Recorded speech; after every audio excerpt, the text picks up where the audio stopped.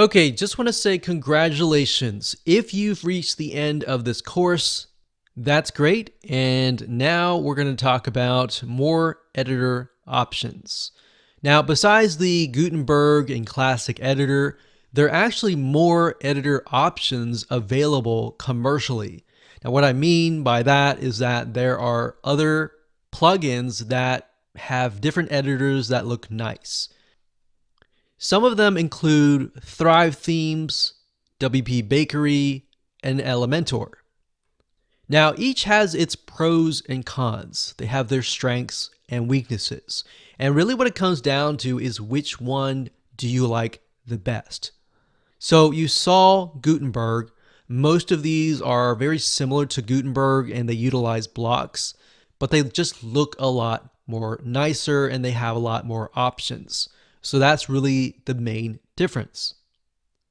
So we like Elementor the most because it's super easy and more importantly, super fast. One thing to note is that as you begin to add more plugins to your WordPress site, it will actually slow things down. So what we've done is when we've tested things, we found that Elementor is it doesn't have a lot of it has a lot of features, but it doesn't have a lot of coding, so it runs really really fast. And it won't slow your website down.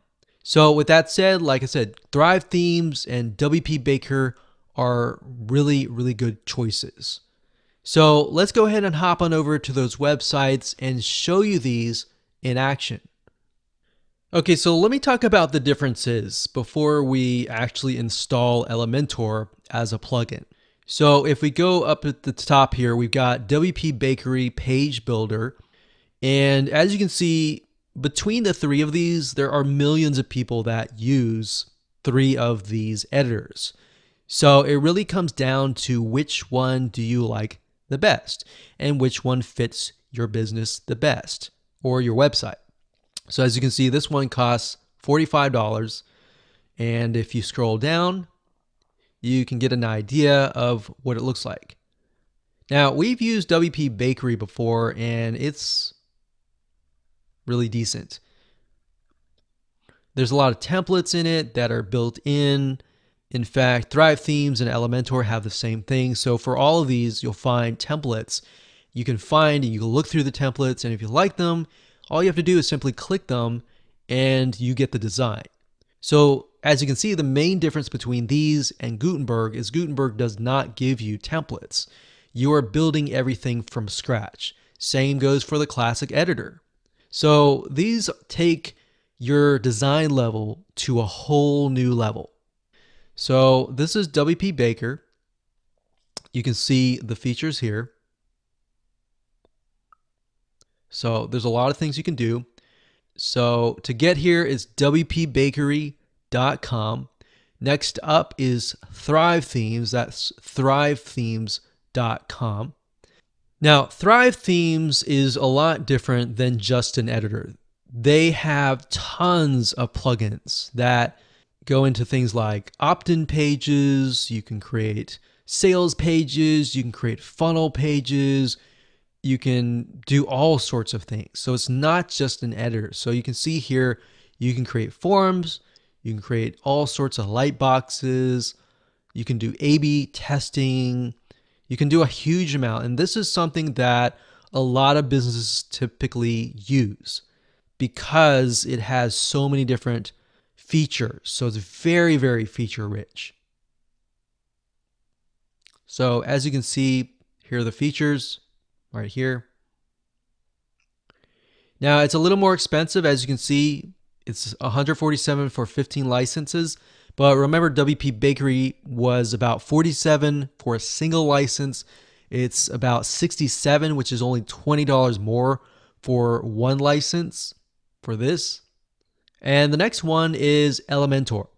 Elementor is mainly an editor like WP Bakery or Gutenberg but like I said, the difference is it's more similar to the WP Bakery in the sense that it is an editor and it also allows you to pick and choose templates. And then those templates, you can click a button and then it adds it as a page. So I'm going to show you that in action. Elementor has a free download, as you can see here. But what I found is Elementor is super fast. It's super easy to create really good looking sites with ease. So you're kind of getting an idea here. Scroll down here. So it says built for professionals from freelancers to agencies. So you can use this, let's say, for example, if you're like a web designer, a website master, or anything like that. So this is great to use for your clients. You can also build forms like Thrive themes to build a list. It's developer friendly, so you can edit the code very, very easily. And it's built with blocks. So I'm going to show you Elementor in just a second. So we'll go back over here. Now I'm going to go ahead and deactivate the classic editor because I don't want that. What I do want, I'm going to click on add new. We're going to go type in Elementor. So that's Elementor. Make sure we spell it right like that. So immediately upon entering the keyword, we can see that here, Elementor Page Builder. Now bear in mind they have a pro version which you can buy, but you can do a lot with their free editor. Just the free level itself, there's a lot of really good features. And that's why I like it. And that's why I feel comfortable with recommending that to you. Now, as you can see here, it says, Welcome to Elementor. You can watch that. We're going to create our first page. So we click on this. Now, what you're going to see is you're going to see your website. So if you have widgets on the right side or the left side or the header at the top, you're going to see that as well.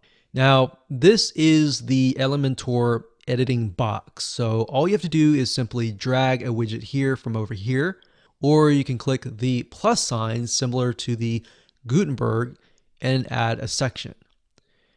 So we have inner sections, we have, headings, we have text editors, images, videos, buttons, spacers, dividers, Google Maps, icons. So as you can see, Gutenberg does not have Google Maps or icons. So there's more. You got image box, you have icon boxes, you have star ratings, you have image galleries, image carousels, icon lists, progress bar. So let's say, for example, that this were to be an opt-in page. So if we clicked progress bar and we dragged it over here and we dropped it, there we go. That's it. It's super easy. And of course you have the settings over here that you can edit. And of course, I can go back over here and click plus. Let's say we want a section here. Let's have two columns. So we click plus and we can go back over here. Let's add maybe heading here. And then of course, we'll go back over here and we can add maybe an image. So you can see that it's actually a lot easier than Gutenberg when it comes to editing. So that's the free version. Now, let's say, for example, that you want to utilize one of their templates. So if that's the case, I'm just going to delete these here like that. I'm going to click on this folder here. So click on the folder. What it's going to do is it's going to allow you to enter their library of templates. So you can see which ones are free and which ones are on the pro level. The pro level has this little icon that says pro. You can't use that unless you have the pro level plugin. So you have to purchase it. But I tell you, it's definitely worth it. Now, as you scroll down, you can see blocks actually. So blocks over here, and then we have pages over here, and then you have templates over here. So blocks essentially are different media or different blocks or areas that you can add. So for example, you can, let's say I like this, I'm going to add this, and I'm going to add this, and then I'm going to add this. So that's basically the method of blocks. It's very similar to Gutenberg. And then of course you have pages, which are the templates. So if you scroll down here, there's all sorts of really cool looking templates and designs that really can take your site to a whole new level to make it look professional.